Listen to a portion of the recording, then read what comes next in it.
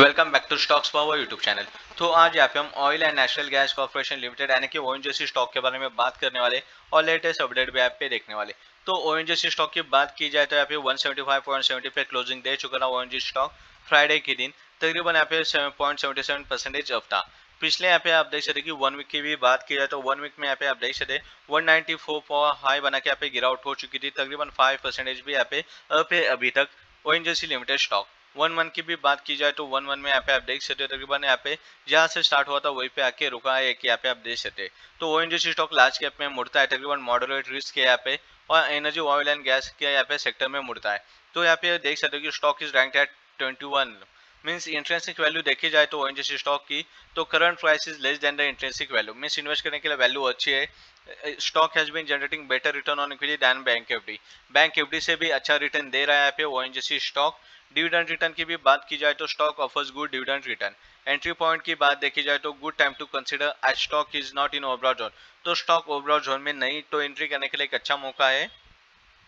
No red flags found stock not in S M list and not a lot of promoter holding is pledge तकरीबन यहाँ पे आप देख सकते हो कि बाकी के डिटेल जैसे कि फोरकास्ट रिपोर्ट भी देखा जाए तो यहाँ पे आप देख सकते कि 27 एनालिस्ट की राय ली गई थी, उनमें से यहाँ पे आप देख सकते 81 परसेंटेज एनालिस्ट कहते कि स्टॉक में इन्वेस्ट करो। तकरीबन यहाँ पे आप देख सकते कि 81 percentage of analyst suggested that investors can buy this stock तकरीबन 775 पे प्राइस चालू है। बाकी के डिटेल यहाँ पे आप देख सकते कि होल्डिंग की भी बात की जाए तो टोटल प्रोमोट होल्डिंग पिछले छः महीने से कॉन्स्टेंट है तकरीबन। पर यहाँ पे आप देख सकते हैं कि प्रोमोट होल्डिंग में शेयर्स भी प्लेज नहीं है।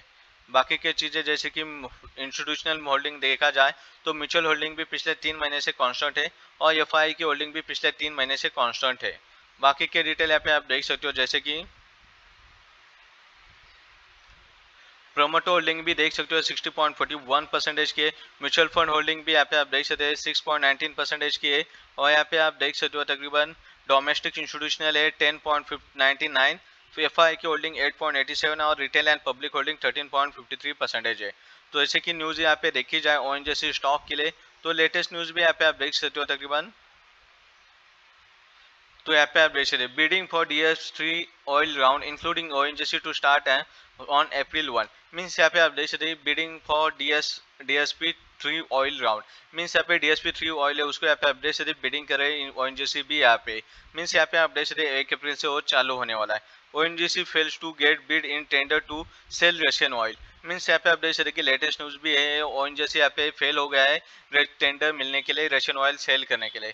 तो यहाँ पे एक लेटेस्ट न्यूज़ है ओ स्टॉक के लिए। जैसे कि यहाँ पे आप देख सकते कि ओ स्टॉक की फंडामेंटल नंबर्स देखे जाए तो यहाँ पे मार्केट कैप देख सकते हो two lakh twenty one thousand crore का यहाँ पे मार्केट कैपिटलाइजेशन है। करंट प्राइस है वन सेवेंटी सिक्स का। P ratio five point fifteen का है। बुक वैल्यू है वन सेवन का। डिविडेंड यील्ड भी फोर पॉइंट थर्टीन परसेंटेज का है। आर ओ सी है nine point ninety five percentage R O E है return on equity seven point thirty nine percentage face value rupees five का है और डेप्ट कंपनी पर one lakh twenty two thousand crore का है. नेट प्रॉफिट है फोर्टी फोर थाउज़ेंड करोड़ का ईपीएस है थर्टी फाइव पॉइंट थ्री का. कंपनी के जो सेल्स हो चुके थे करंट ईयर के थर्ड क्वार्टर तक four four lakh ninety thousand crore के सेल हो चुके थे और टोटल एसेट्स है five lakh sixty thousand crore का. प्रोमोटो होल्डिंग भी 60.4 परसेंटेज की जो अच्छी खासी और एक साल में 52 परसेंटेज का रिटर्न दे चुका है स्टॉक अभी तक। तो ये लेटेस्ट अपडेट यहाँ पे अपडेट से स्टॉक के लिए।